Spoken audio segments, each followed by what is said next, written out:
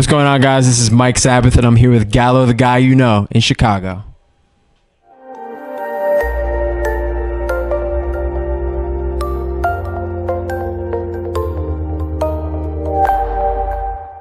What's up? It's Nick Gallo, Gallo, the guy you know. I'm here with the, the man of the hour, Mike Sab. Bro, how are you? Mike Sabath. I'm great. I'm great, Nick. Nice to meet you, man. Yes, Thank you for having me. Definitely, definitely. Hello, everyone at home. Nick, Nick just gave me this pillow. Is what just happened. Love it. I love this pillow. I was just saying now I can now I can finally sleep with myself. I love it. I love it. But, Anyway, you know, bro, it's been a journey for you. Yeah. Like, and in a short amount of time, you've accomplished a lot. I know it's just starting for you, but like your story, you've been doing it. So, how does it feel like just to see everything now, like really working now that you are at the forefront as well? it's crazy, man. Um, I mean, yeah, it's been. I mean, for everyone, it's always it's always such a long it's always such a m- longer journey than we feel. It's, you know, it's like everyone out there doing all this stuff. It's like, it's like for me, like I started when I was a baby. You know, the lollipop drum, pots and pans, my family bringing the pans down, and I was just in love with music. Always, it was my my vessel for it was my place to express. Always since I was a little baby, and you know, went from the pots and pans to my first muse, which was Carly in first in, in elementary school. We were elementary school crushes. She's my it. and you know she inspired the Carly song, which started my songwriting career. I love you, Carly. I love that. And um, she was actually just at we just played at elsewhere in New York in Brooklyn, and she came and it was so fire. That's That's awesome. um, it's so cool. Just Yeah, man. So yeah, so it was just long journey, obsessed with recording. And then yeah, man, it's just a journey. I was with I was working for years, like flying out whenever I could, like go to LA from New York, from New York, from upstate slightly upstate New York. And um yeah, man, we would I would leave school early on a Friday occasionally, fly to LA, I have no idea what was occurring. But just like me and my manager at the time, we would just be there on walk. We, we we'd be like Hollywood Boulevard, right? Like literally, when I was Yeah. like 16, we would like walk up and down Hollywood Boulevard. Became friends with all of the the the, the, the city tour people. It was incredible, and we would like literally go to studios. But um, you know, also, you know, you're on the My 21st Century Blues tour with Raye. I know she's a good friend of yours. You Yes. killed this album together. You killed the stage tonight as well. Thank you. like, how does it feel just having it? Because you know, COVID was was crazy. You know, everything you could make, you really couldn't, you know, express yourself only through like virtual concerts or. But those only went so far. So how does it feel like just to be back out there now, like performing and showing what you've been working on? No, it feels incredible. I mean, this. I mean, this is really. This is my first time on a tour of any Yeah. kind. So I mean, like I obviously I grew up performing at like Mhm. functions and like all that, but like I've always only really gotten to express myself in the studio for the most part. You know what I mean? Like I grew up doing the little vibes, but always recording, recording, recording during the pandemic, recording, recording, recording. But yeah, this is my first time on a tour of any kind. So yeah, no, it feels incredible. And the craziest thing is, is we get to play. I mean, this music that I've been working on with the Moongirls and this album for so long, getting to perform it in this way and get to perform it for pe- crowds of beautiful people and Raye's fans are unreal. Yeah.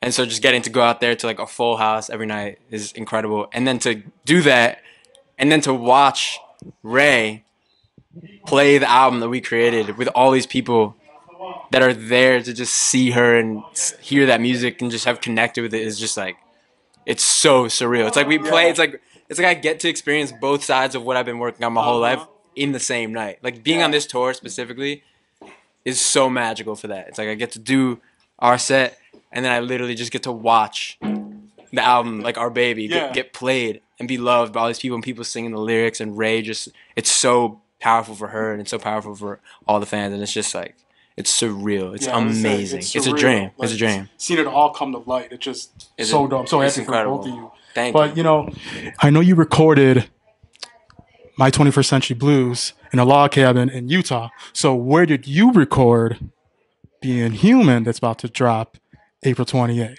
Yes. So it came from a different a, a few places. So Okay. it started when I was I, I during the pandemic. Okay.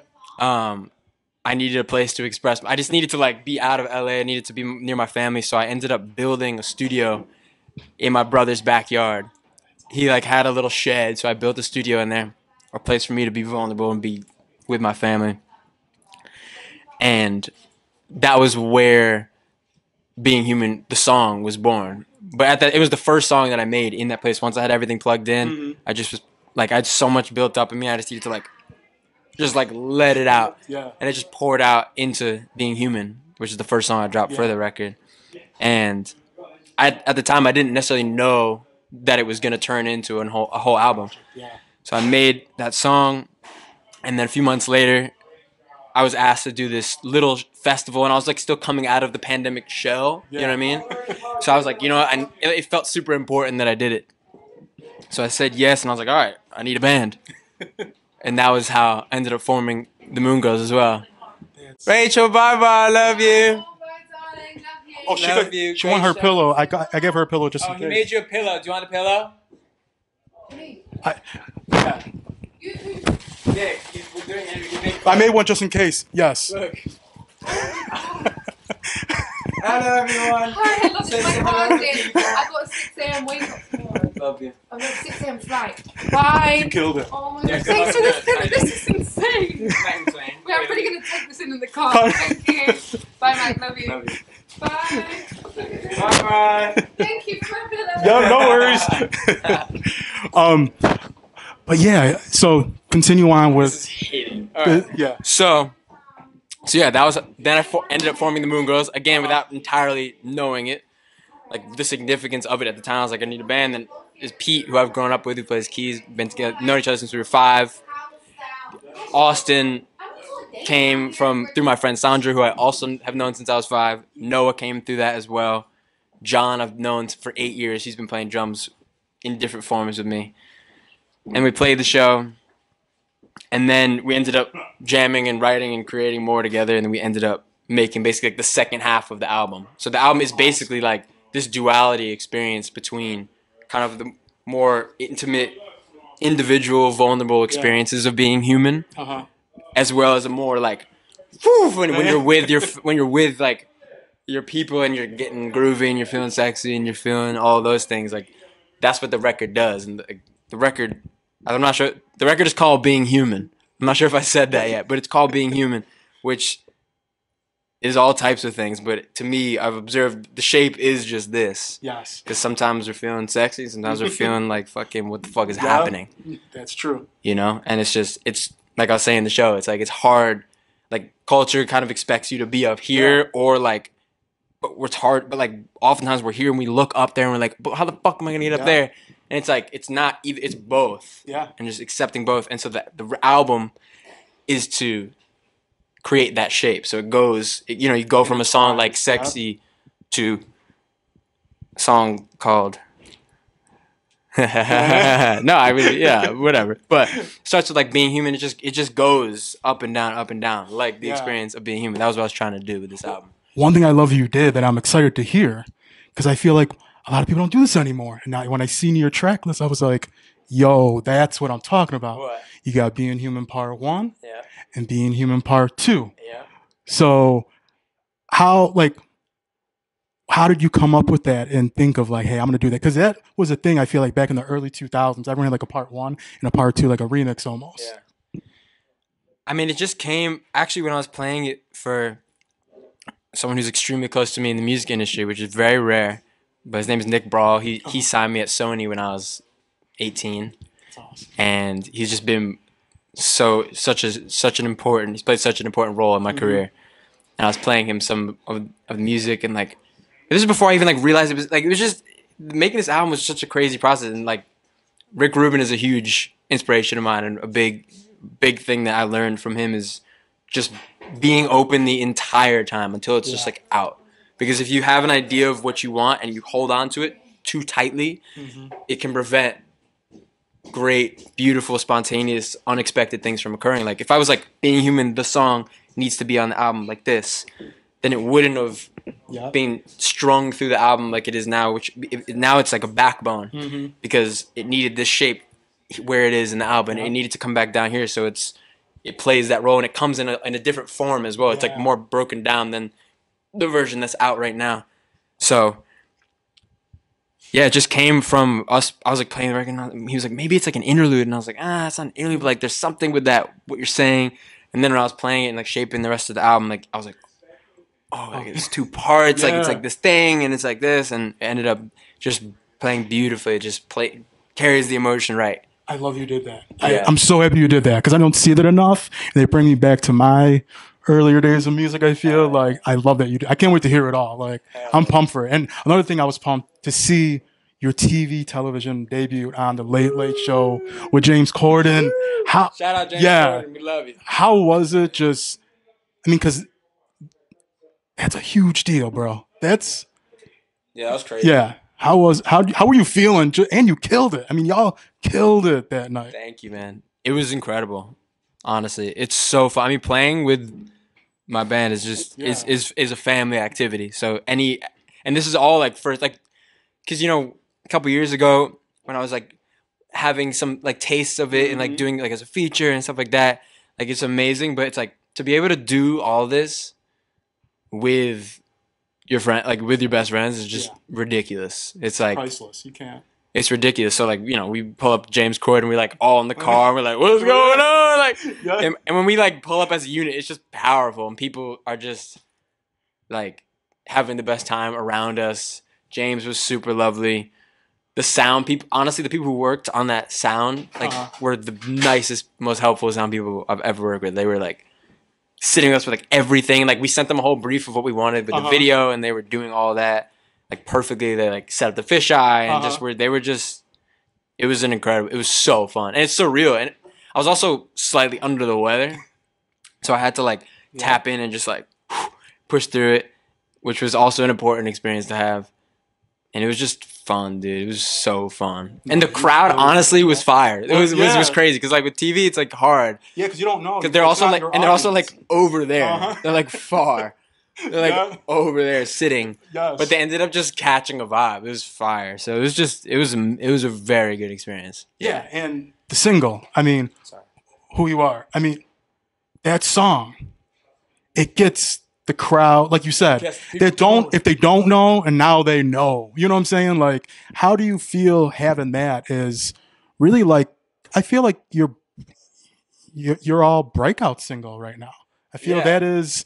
I mean, it's a feel good song. And I'm not hating on, you know, there's times where, like you said, being human, we go through a lot of things, but the feel good music, it feels good again to have it more because I feel like we almost lost the es- essence of it a I lot of times. I agree, man. Like I think people are ready to. I think people. I mean, in general, it's like people are ready to feel just honesty in general. It's Mhm. like any art that is honest is gonna hit right now because it's just like there's just so much dishonesty in culture Yeah. and just in the world, and it's just like we're just we're just not.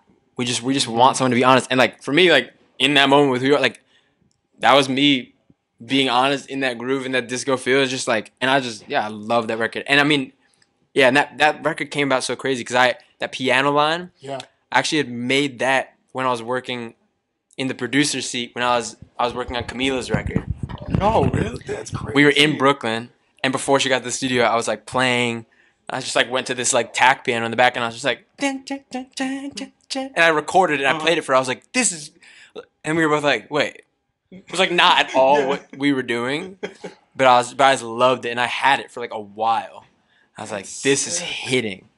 And then when I was at a different studio in Brooklyn I was with and it was like a, actually like a family night. It was like I had like my brother my cousins like bunch of friends came to the studio and we were just jamming and we were all playing like some vibes were happening and Peeps at the keys and I was like bro and I was like I was like just taught him the thing and then he like touched it up a little bit and then we started playing it and then we recorded it and we were like we just like recorded the vibe and we were like wait Yeah. I was like this is hitting we were like about to go home and I was like wait play it one more time and I was like I was like oh shit and I was like all right let me go in. and I just like went into the booth and ended up just writing it that night. That was Yeah. it. It's like it just like was born at at the, at the right time, and it was so fun. Oh, That's an awesome story just to know like how that song came to life. Like, and, and I love hearing that like when it just comes sporadically. It didn't. And you know what I'm saying? It's not like you were planning. You were just kind of, yeah. yo, this is a beat. I like this, and I mean, it was just the piano. It was literally just. Yeah. piano. I mean, well, what's what's beautiful is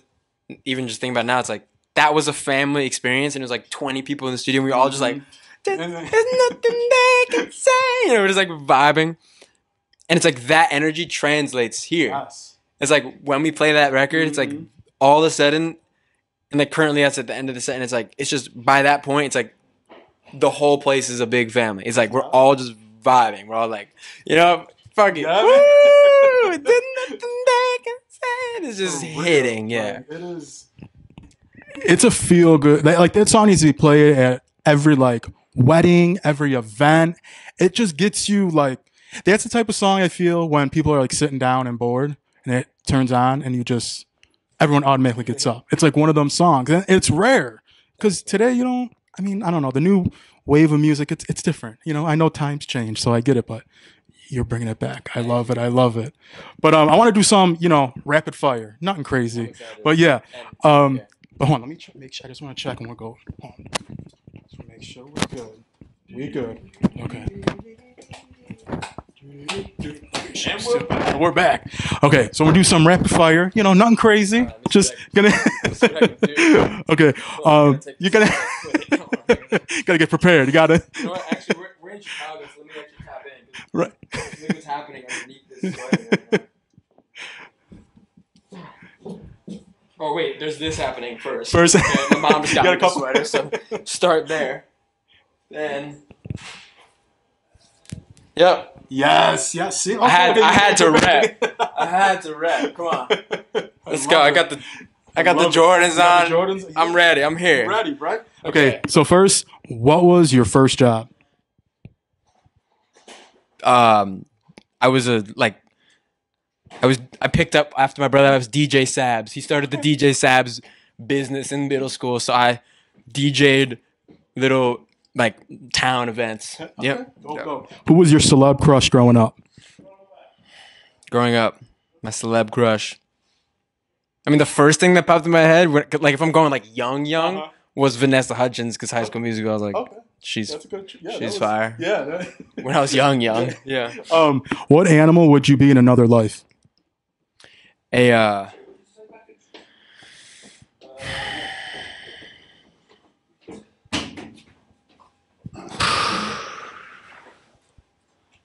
Wow, Makes you think, right? it does. I mean, I have a couple answers, but I'm gonna give A you. couple. Yeah. Well, Give me your top three. okay. I would be interested in being like a pelican. Okay.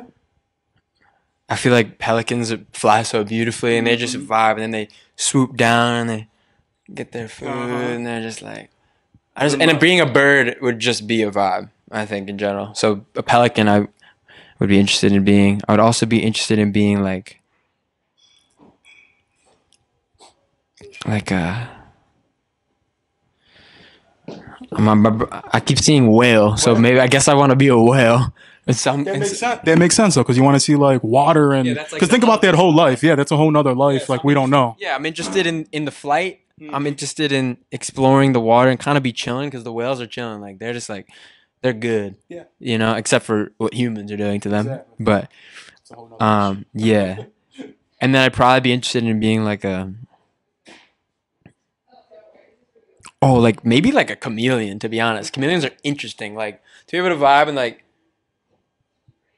become a jacket Yeah. would hit something like that. I don't know. I don't know how I feel about those, but I feel But those are three good like I feel interesting about that. Yeah, I feel, tho- good. I feel pretty good about that. Okay, Yeah. that's what I got right now. I, I like. I like. Um, what time of the day are you most inspired? Um, really, really, really early morning, like like as sun is rising, and probably late and probably late night. Probably like the sides of the day. Okay. Probably actually. Okay. Yeah. Uh, where do you go when you want to be alone? Um. Nature. Nature. Yeah. Yeah, I agree with that. More and more, the older I get, it's weird. Like, Nature with nature barefoot. Yeah. Grounding is real. yes. We're supposed to touch that earth, baby. Mhm. something you do. This, this hippie motherfucker.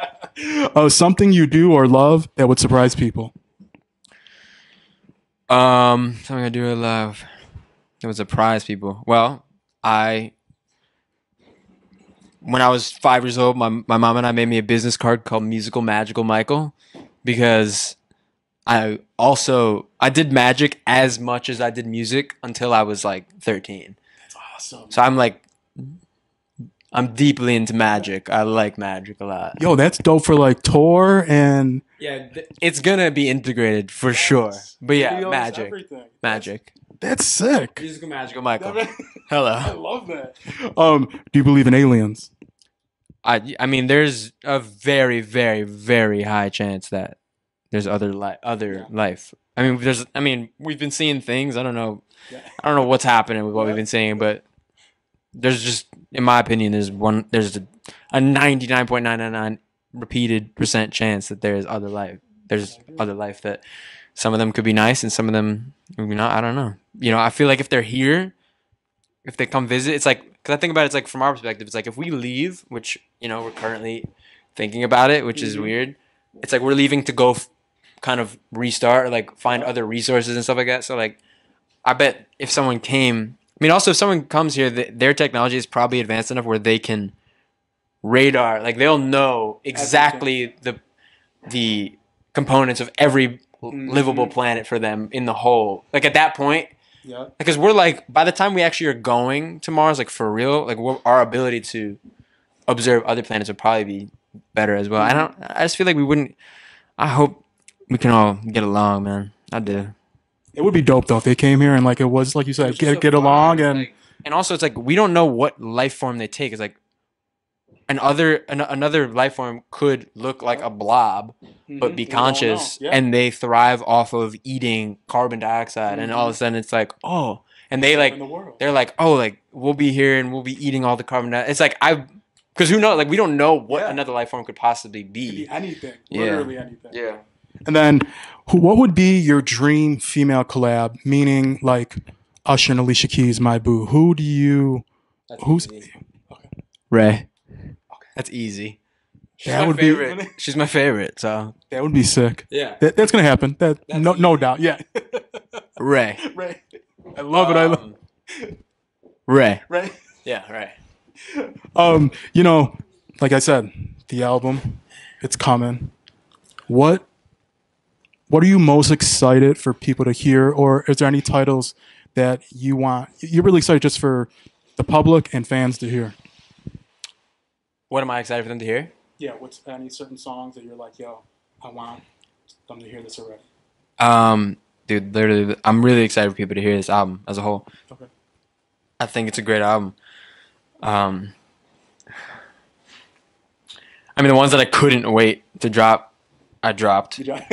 And then, but but the reality is though, no, like the record, it's interesting because we also like are leaving so many of the good ones yeah. that we I like wanted people to be able to like they like have the records, but then they like get to go to the album and there are songs that are better. It's like Mhm. that's to me is like such a more powerful experience. It's like, oh shit, wait, what's happening right now? It's like like magic. I know it's real. Beautiful, I think is gonna be an important record for people to hear. This it's the last song in the. I was gonna say I know it's the last song. I yeah, it's the last song in the album, and it's about it's about us. It's about the earth, and it's about it's like a very like kind of pulled back perspective of like what's happening a Makes little bit. think. Makes you think. It also just like we should probably save our home because no one else is gonna do it. No type of type of. It's just like a couple. Just it's just like my. I made that song on the top of a on the top of a mountain in Malibu. I like Awesome. I rented an airstream for a week, and I it was an airstream that when I was younger in LA I saw it on Airbnb, but I couldn't aff- afford it, and I was like, oh my god, like I need to stay at this Airbnb. This this it was like just an airstream just at the top, and I was like, I'm gonna get that one day. So then eventually, like a year and a half ago, two years ago, I was like, all right, it's time. It's time. So I booked it for like three months in the future. I was like, this is gonna be a little Uh-huh. gift to myself in three months. So I booked it, and then it came around, and I went, and I just was there by myself for a week. I had like some friends came and we did stuff, and um, but yeah, that was like the first song I like started up there. Like it Okay. started with just like this, with just like this big kick drums, This one from- and it was just like ooh, ooh, and it's just like this vocal thing that I just stacked these harmonies, Uh-huh. and I just played this like. ooh,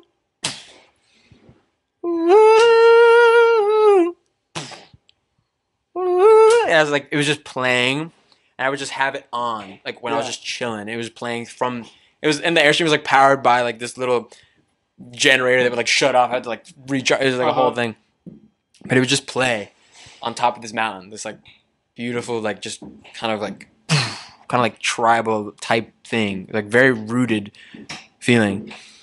And it would just play, and then every once in a while I would have I would like have the mic recording. So every once in a while I would just go and just like sing for like yeah. an hour, and I would like chill, and then it would just keep playing, and then like later in the day, or like later a couple days later, whatever. Or no, I think I probably recorded the whole thing the first day, but different parts of the day. I would go in there and sing for another like hour straight, just freestyle. Then I sang another hour, so I had like three hours of just like freestyle, including like a moment where I was FaceTiming my friend, who's you can hear her voice at the very beginning of the record. awesome. And the way I made that record is I recorded for three hours, and then over the course of that week, I was making other ideas too. But I would Mhm. every once in a while I'd pull that song up, and I would literally make my way through all three hours of the freestyle, and I chopped all the pieces that I like highlighted all the moments that I was speaking like because when I free that's how I write I I do freestyle Yeah. essentially like melody words kind of coming, and then I but this one I'd never done it like this where I like literally didn't end up even re-recording anything. I just like found the parts and literally Push it together. from three hours into three minutes. So it's all raw. And It's just like raw, potent my feelings and my opinions about certain things. Like nothing crazy, but just like it was just very honest. And I feel like that record is really powerful. I think it's a really beautiful record, and I'm excited. I'm very excited for people to hear that record. That's and the, that and that's that's the nice and short answer Right. for you.